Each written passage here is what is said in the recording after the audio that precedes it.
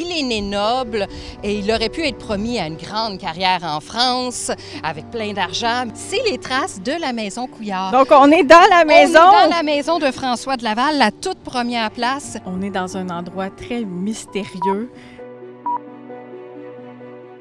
C'est vraiment excitant d'entrer dans un lieu comme ça. Ça, pourquoi je voulais vous les montrer, c'est parce que c'est un objet, tout d'abord, qu'on voit vraiment pas souvent.